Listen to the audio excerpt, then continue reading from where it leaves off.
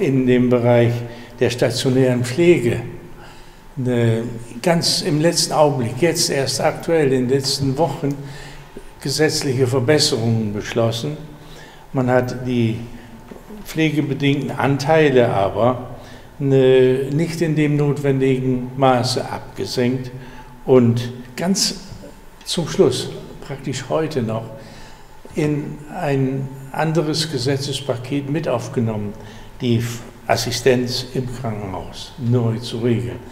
Aber auch dabei wird, so haben wir jetzt die Befürchtung, der ambulante Bereich, der häusliche Bereich wieder benachteiligt, wieder nicht beachtet, zeigt also, die Menschen mit Behinderungen sind nicht zwingend in allen Ressorts mit dem notwendigen äh, Umfang berücksichtigt.